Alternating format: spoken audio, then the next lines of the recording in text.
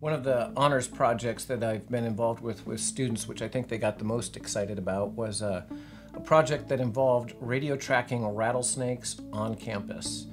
Um, a number of uh, years ago, we had a quote unquote rattlesnake problem on campus, um, and we're debating what to do about the fact that we had rattlesnakes and people sort of cohabiting the same space. And so um, we decided that one of the best things we could do was use this as an opportunity for students to apply science. And we bought radio transmitters and we surgically implanted them inside the rattlesnakes. And then the students would locate the snakes each and every day. And we did this for a number of years.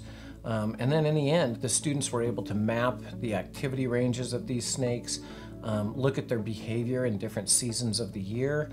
We recorded births and mating. Um, we looked at mortality of the rattlesnakes on our campus, and it was just a, a, an amazing project. I think students were excited. Part of it's because it was rattlesnakes, but part of it is because they were doing science, and they actually analyzed data, um, gave presentations, uh, went to meetings and presented their findings there, which is, is really novel for students at a community college. This evening, I'll be sharing with you one of the most exciting projects um, that my students have experienced in communication. This is the Dr. Seuss birthday event for homeless children. Our honor students plan, implement, and execute the entire event. And what we do is we basically hold a birthday party for Dr. Seuss for 215 homeless children in the valley. And we prepare fun and educational activities ranging from a reading corner, games, music, um, and a variety of other things, which of course includes singing Happy Birthday to Dr. Seuss and birthday cake for the homeless children. Well, this project deepens students' understanding in the field of communication by providing them a hands on avenue to experience brainstorming, group leadership, implementing a special event um, for the community, making an event come alive from conception, from theory all the way to, to bringing the event alive for the community. And to do so in a meaningful way to enrich the lives of others. I became involved with honors because it directly correlates with my own teaching philosophy, which is to be able to provide opportunities for students beyond the classroom. I feel that with our honors program, our students experience the opportunity to practice what they learn and take it out take it outside the classroom in a practical sense with lasting effects my honors class had decided to do a project, um, their research project or term project on uh, ban the bottle, sort of bringing an awareness to the plastics use or overuse of plastics in the world and how many of those plastics actually end up in the ocean. And one of their goals was to figure out how much plastic we actually use on our own campus and they decided to ban the bottle by collecting bottles from students and faculty and staff across our campus.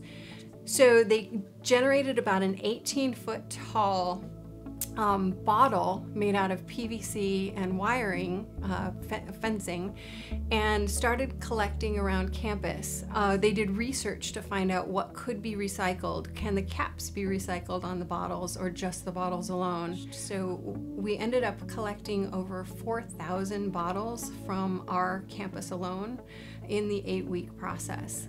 So this was really exciting for the students and it made them very aware of their own personal use of plastic bottles, how much plastic waste they were producing, where it actually went or ended up, how it could be recycled.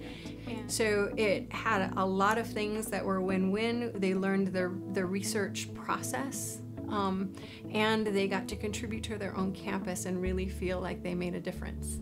I'd, I'd found a an, a, a, ruin up in the Superstition Wilderness that I wanted to uh, explore and map. And so uh, we wrote a grant uh, to get some money, and we took uh, six students out into the Superstition Wilderness uh, Dennis Wilson in biology and myself to map this ruin here. It's called the Circle Stone Ruin. I'm, I'm also a historian, and so the project is is anthropological, historical, biological, and communication. Uh, Mesa Community College students proved that this main ruin is a calendar, if whatever else it is. And so we've not only done the Circle Stone project, we did a museum uh, case from an archaeological dig. For me, uh, the key to mentoring honor students is is developing that uh, relationship. Uh, I work one on one with with the honor students that I work with. Okay.